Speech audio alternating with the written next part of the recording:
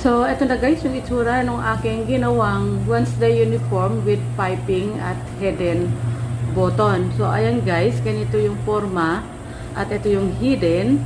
Ayan. At sa loob, pansinin nyo guys, malinis pa din.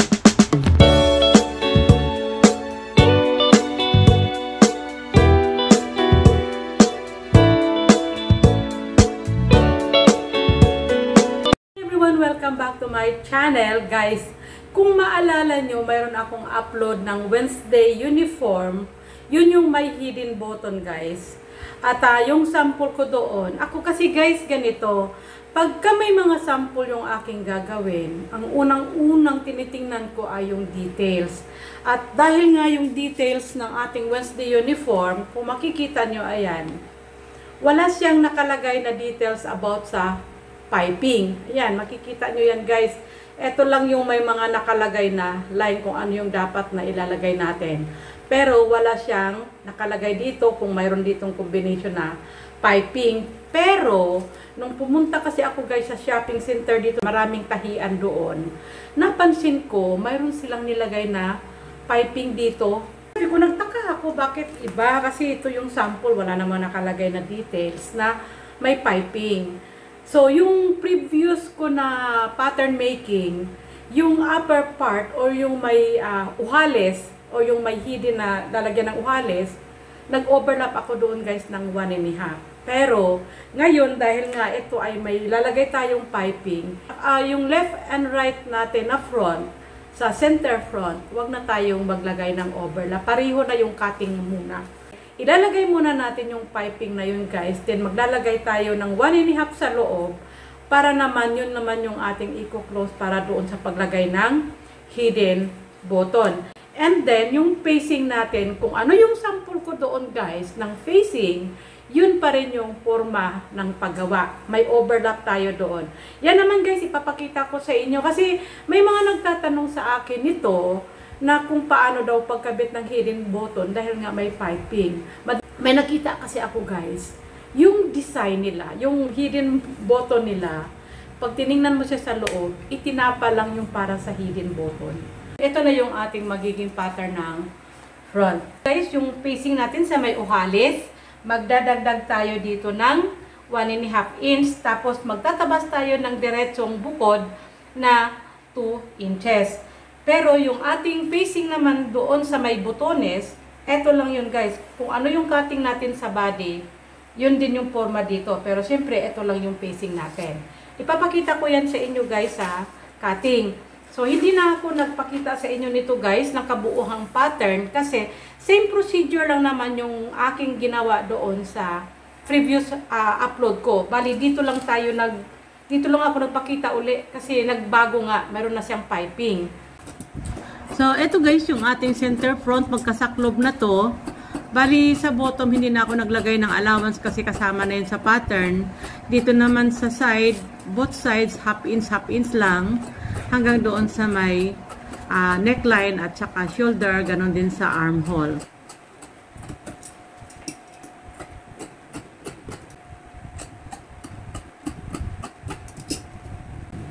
Lalagyan ko lang ng marking yung para sa tax.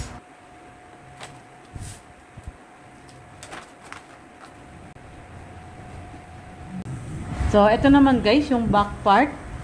Bali dito sa bottom wala uling allowance, pero dito sa side, maglalagay tayo ng 1 inch na sewing allowance. Ganon din sa ating center back. So, babawasan ko lang to guys, yung pinaka-edge, pero may 1 inch allowance tayo dito para sa sewing. Dito naman sa neckline, half inch lang, sa shoulder at saka sa armhole.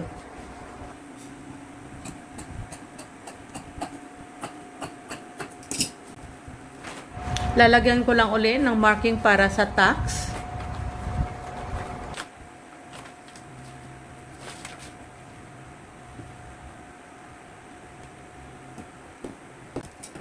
Ito naman guys, yung para sa facing ng back. So, taga half inch pa rin yung ating sewing allowance dito, except dito sa center back. Babawasan ko lang din yung forma. Ito naman guys, yung ating front facing. At kung mapapansin nyo, ayan, mag-a-adjust ako ng 1 and a half para naman dun sa ating hidden placket sa right side. So, ang kabila ay mas maliit. Bali, ito yung kapariho ng sukat ng body.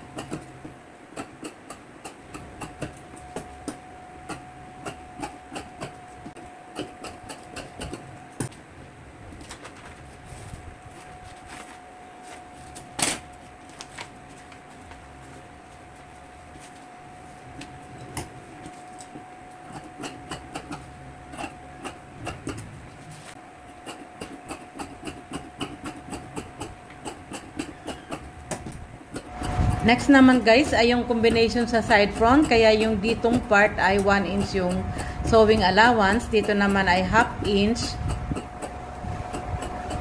Yan. Dito wala. And then sa armhole half inch din.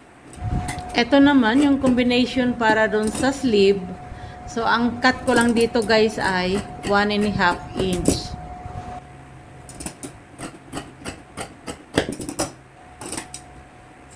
Para naman sa piping, magtatabas lang ako ng bias cut. At since nga guys na makitid lang yung ating fabric, pagdudugtong-dugtungin ko na lang ito mamaya.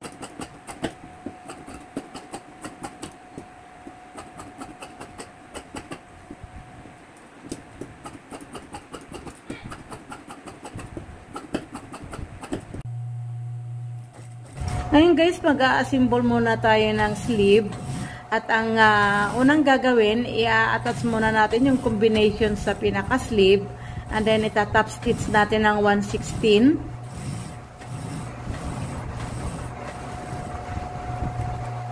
And then, mula sa pinaka-side, maglalagay tayo ng distance na 3 fourths. Dito naman natin ngayon guys, ilalagay yung pinaka-gilid ng trimmings. So, ang magiging total niyan guys, pag dinapa na natin yung ating uh, combination, ay magiging 1 and 1 fourth. So, ipopold natin yan ng ganyan.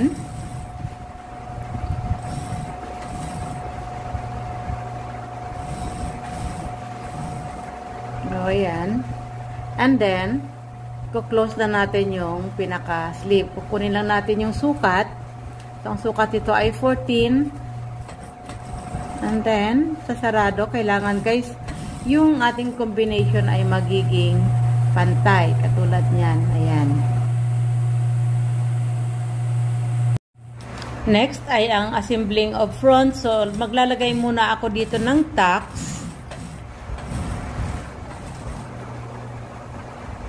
And then, yung combination naman sa side front.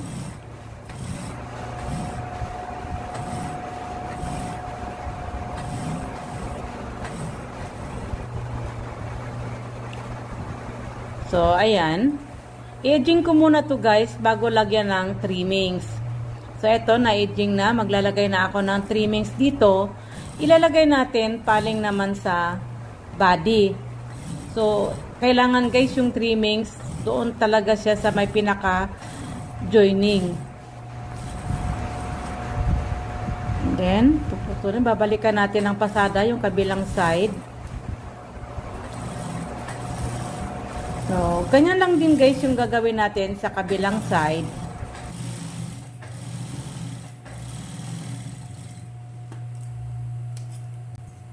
So, ayan guys, ito na yung ating nalagyan ng trimmings. Ayan, at ito din yung sa kabilang side. Ngayon naman ay ang attached shoulder.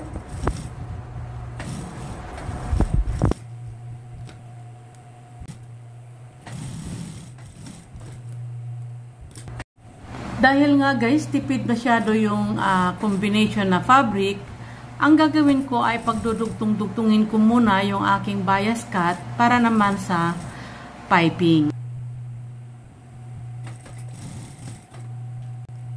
Next ay papasadahan ko to ng 1/4. So kailangan guys pag nagpapasada kayo ng 1/4 na para sa piping, accurate yung inyong gagawin, yung pare-pareho yung lapad. Pinakamaganda din kung mayroon kayong guide. Ako kasi guys, may 1/4 guide ako, pero hindi ko minsan ginagamit. Mano-mano na lang yung aking ginagawa kasi tansyado ko na rin naman yung pagtatahi. Ngayon naman guys, ilalagay ko na yung piping dito sa body. Sa ilalim guys, yung may butones, hindi ko pa aabutin hanggang ibaba yung piping. Bali dito lang sa may vinik. Kasi nakatago naman yan pag nakasarado yung butones. At saka tipid kasi tayo sa fabric. Kaya naisip ko, yung sa ilalim na part ay half lang or hanggang doon lang sa may bini kung saan nakikita yung piping. Sa kabilang side naman, yung sa may hidden uh, button o yung sa may uhales, doon buo talaga yung piping kasi yun ang nasa ibabaw. So, ganito ang gagawin natin. Dire-diretso lang yan. At sa mga joining guys, i-open natin yung allowance para hindi masyadong makapal. Kailangan yung ating pasada kanina sa piping, susundan lang natin yon para pare-pareho yung lapad.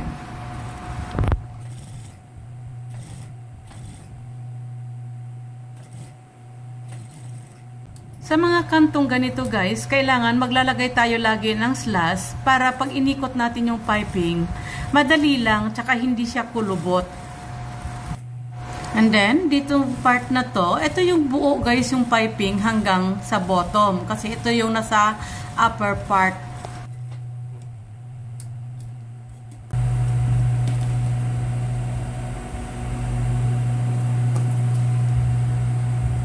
Ito naman guys yung aking cut na diretso at ito ngayon ang ilalagay ko mula dito pababa. At uh, kailangan guys pag nagpasada tayo, yung ibabaw, yung may pasada na. Kasi yun yung magiging guide natin para yung piping, magiging accurate pa rin yung lapad. Kasi yun yung pasada sa piping.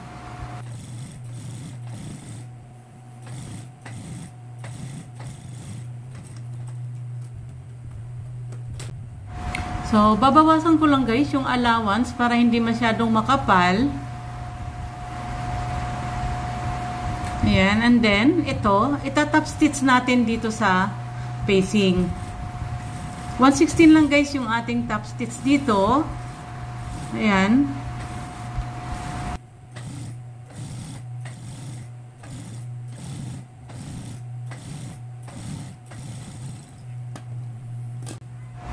So, ayan na guys. Ganito yung itsura niyan.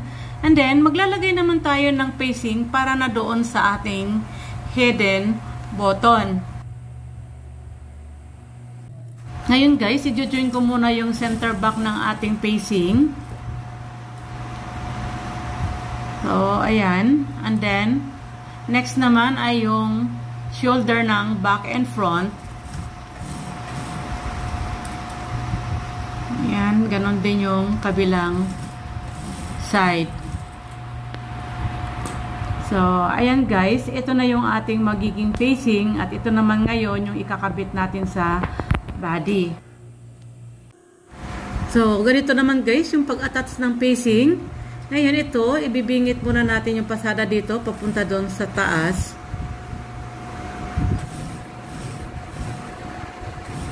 So, ayan. And then, susundan na natin ngayon guys yung pinaka piping dito sa may vinik. Paikot na yan, papunta doon sa may neckline, papunta sa kabilang side. So, kailangan guys yung pasada natin na nakapatong din doon sa unang pasada kasi yun yung guide ng piping natin. So, kailangan din yung mga joining magkatapat palagi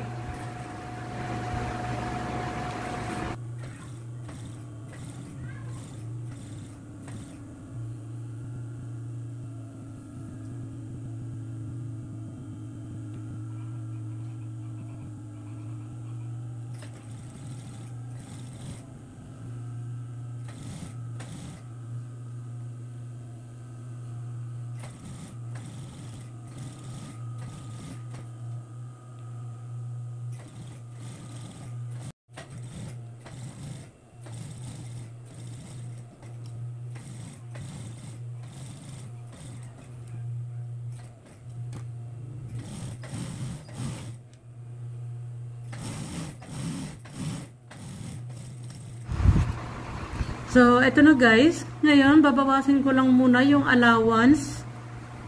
Mag-iiwan lang ako ng mga 3-8 or 1-4, ganyan.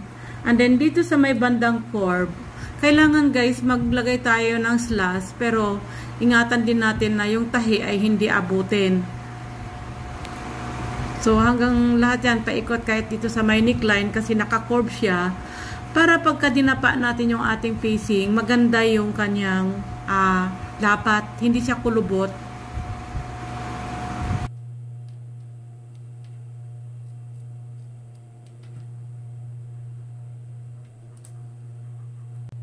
Ngayon guys, magta-top stitch muna tayo ng facing mula dito sa tapat ng v-neck. Paikot na yan sa kabilang side yung sa may botones. Dito sa ating hidden uh, button, wala tayong top stitch dyan guys kasi ipupul dyan mamaya. So ipapakita ko sa inyo later kung paano yung discarte ko dyan.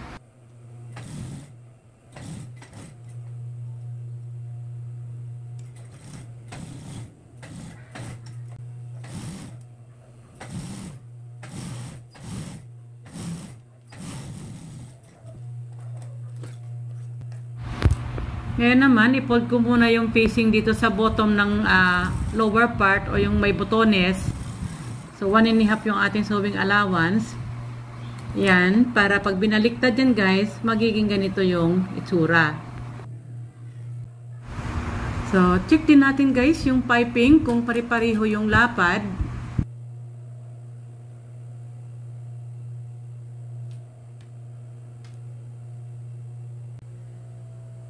And then, pwede na nating idapa yung ating sa may head and button. So, ganito naman yung pag-fold yan guys. Mula dito sa may piping, papasadahan natin yan ng 1 and a half ng paganito.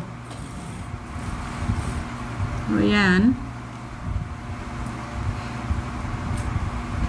Para pag binaliktad naman natin ngayon guys, eto na yung magiging forma. So, ayan na. Ito na guys, yung sa head and button. Ngayon, ito, papasadahan natin to mamaya. Ayan. Ayan, tingnan nyo guys, malinis pa din. So, ayan. Pero bago ko pasadahan, lagyan ko muna ng pin para magiging pari-pariho yung lapad din sa ilalim. Papasadahan natin to guys ng 1 and 1 fourth.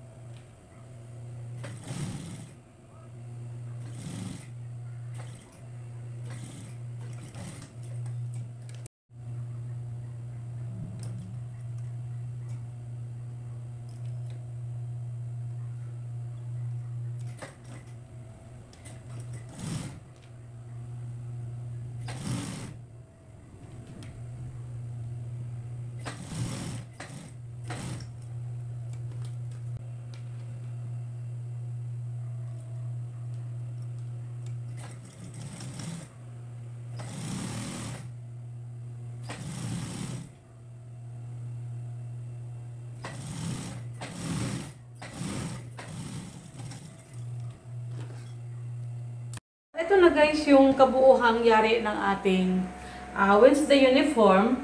At ganito lang ako pag gumagawa ng head button. So ito guys ay may uh, butones na. Finished product na talaga to. So ayan yung forma guys sa loob. Unlike doon sa ipinakita ko sa inyo na tinapa lang siya dito. Pero ito malinis pa rin. Malinis din yung labas. At dito, hindi na ako naglagay dito guys ng piping dahil ito ay nakatago naman. So, hindi na yan nakikita. Dahil nga masyadong tipid yung fabric. So, ayun guys, kanya lang kasimple yung paggawa ng head and button para sa ating Wednesday uniform. Sana guys, meron na naman kayong natutunan sa aking pinakita for today. And thank you again for watching. See you again on my next vlog. Have a great day. Bye-bye!